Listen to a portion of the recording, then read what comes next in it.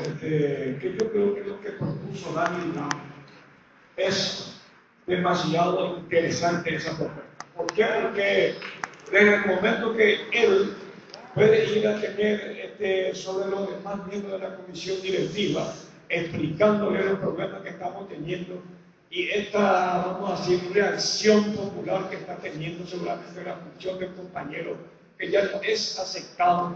No creo que ponga resistencia el señor presidente, el señor Julián.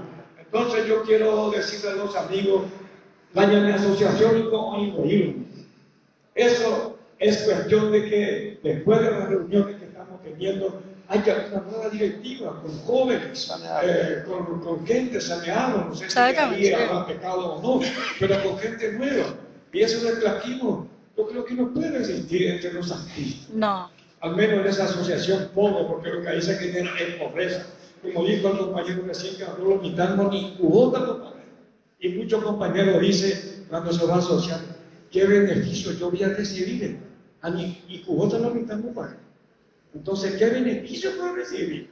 Vamos a pagar primero nuestra cuota de amortizar ya la asociación, vamos a darle fuerza y después, compañeros, a ver si qué gracia nos da nuestra asociación.